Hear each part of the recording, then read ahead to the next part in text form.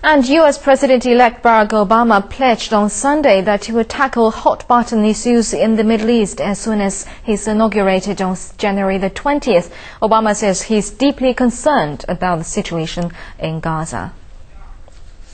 And I think I said this a couple of days back, that when you see uh, civilians, whether Palestinian or Israeli, harmed, undergoing hardship, uh, it's heartbreaking. And uh, obviously, what that does is it makes me much more determined to try to break a deadlock that has gone on for decades.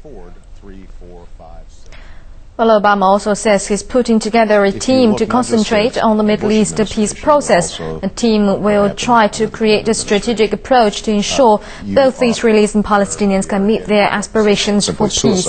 But he says it would be imprudent of him to lay out any direction for U.S. foreign policy until he's inaugurated. Always there, and you had.